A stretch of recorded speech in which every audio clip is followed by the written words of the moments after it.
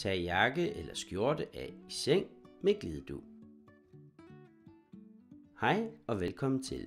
Jeg vil vise jer her, hvordan I kan få en skjorte af en sengliggende bruger. Vi starter med at give lidt plads. Herefter placeres et stykke glidedu under siden af brugeren. Og så lægger vi et glidestykke mere på den anden side. De minimerer friktionen, når skjorten skal af. Bemærk, at glideduen kommer ind til midten af ryggen.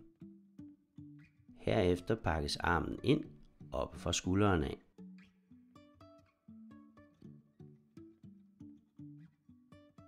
Så foldes skjorten ned om sig selv.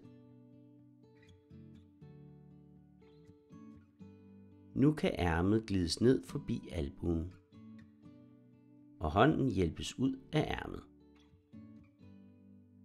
Herefter glides skjorten ned til lænden.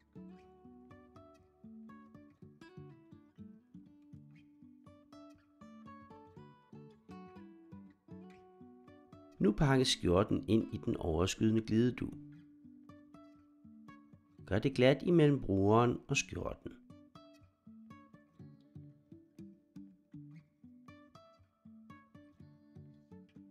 Herefter skubbes ned i madrassen fra den ene side, og skjorten trækkes ud på modsat side.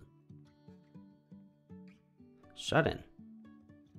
For at se flere videoer eller få rådgivning om produkter, undervisning eller forflytning generelt, gå ind på mastercare.dk eller ring. Vi er klar til at hjælpe dig.